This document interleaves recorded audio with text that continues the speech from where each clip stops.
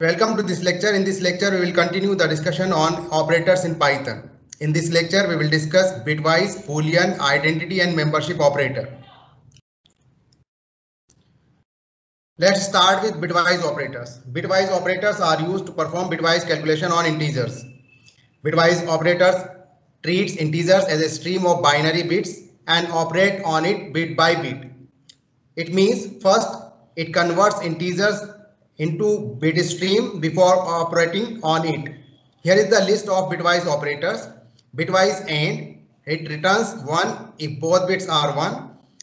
Bitwise OR, it returns 1 if any of the bit is 1. Bitwise NOT, it inverses the bits.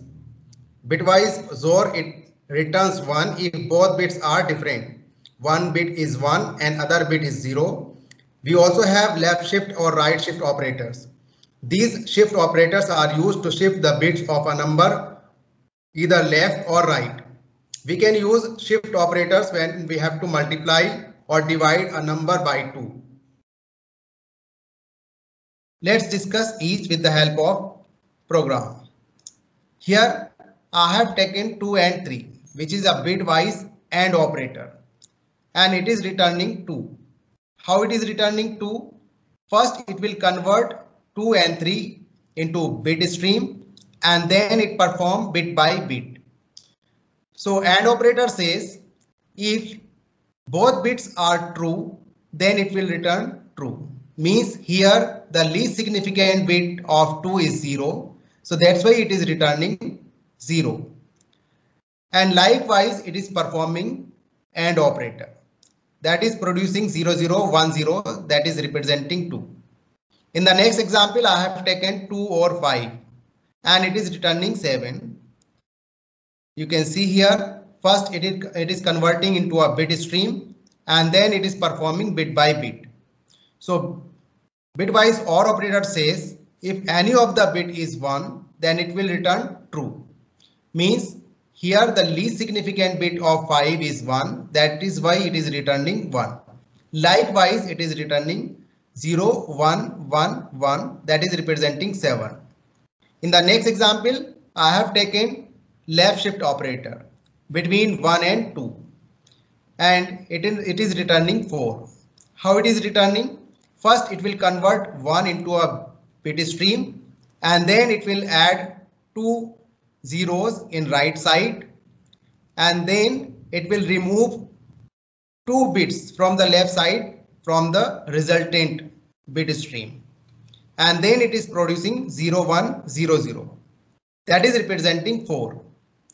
In the last example I have taken XOR operator between 2 and 3 and then it is converting again into a bit stream. And then it is performing bit by bit. And it is producing 0, 0, 0, 1 that is representing 1.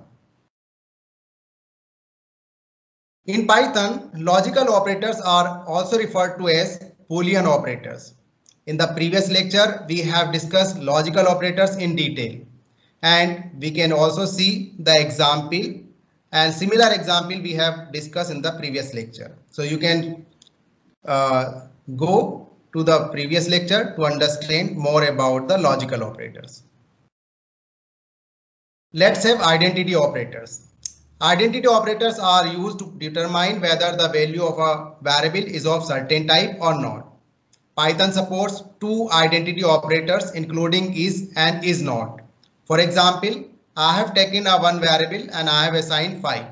Then I have passed to the type function and compared with int with the help of identity operator is and it is returning true. Yes, type function will return int which is equal to int. So it is behaving just like a relational operator that compares two operands.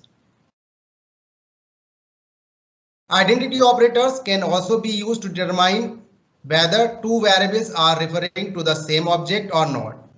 Here in the example, I have taken num1 and I have assigned 10 and in the next statement I have assigned the value of the num1 into a another variable num2 and I have checked the ident ident identity or ID of both variable and then I have compared these two identity or ID with the help of identity operator is. And then it is returning true and it indicates that the both variable are pointing to the same object and pointing to the same memory location. So likewise, we can use identity operator on the variable. Membership operators. Membership operators are used to check if a value is a member of the given sequence or not. Python supports two membership operators including in and not in. For example, I have created a one list a is equal to 1, 2, 3 and then I have checked the membership of 2 in A. 2 in A with this statement.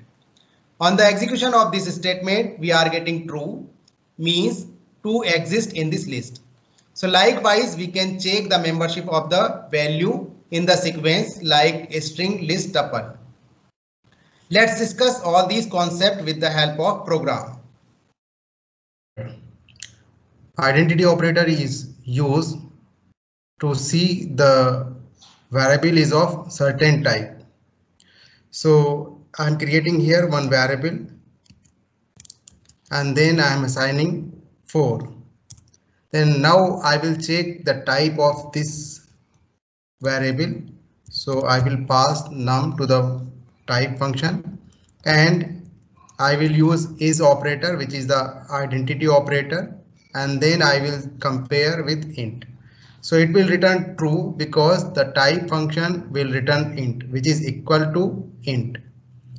Here if you want to pass directly 5.4 and is you are comparing with float then it will return true because 5.4 is a float type number. We can also uh, check whether two variable are pointing to the same memory location or referencing to the same object. So I am taking here one more variable num1 and I am assigning the value of num variable and now I will check whether the num1 is equal to num2 means they are pointing to the same memory location or not. So it will return true because they are pointing to the same memory. If you want to check whether they are referencing to the same object or not, you can see the ID of both variable. So ID of num1 and ID of num. So both variable are pointing to the same memory location as we have observed with the help of identity operator. So likewise, we can use the identity operator with variables. Let's discuss membership operator. Now let's discuss membership operator. So as we have discussed in the slide, the membership operator is used to check the membership of any value in a given sequence, like string list tuple. So I will take here one value and then I will check the membership of this number in a list. So 4 exists in this list, so it will return true. I will take one more number and then I will check the membership of this 5 in tuple. So it will return true because 5 exists in this tuple. And we can take also number in a variable. And I will take a one uh, set and in this set I will keep numbers and I will use here not in operator which is also a membership operator L not sorry x not in L. So it will return true because x which is 5 does not exist in this set. So it will return true. We can also use membership operator with a string, string type of values means I will take here hi and I will check this string in hello India. It will return true because this string hi does not exist in this string hello India. So likewise, we can use the membership operators with uh, to check the membership of any value in a given sequence. So I hope uh, you have understood this concept. We will come again with the new lecture. Thank you for watching video. Please subscribe channel for more videos. If you have any query, you can keep in comment box.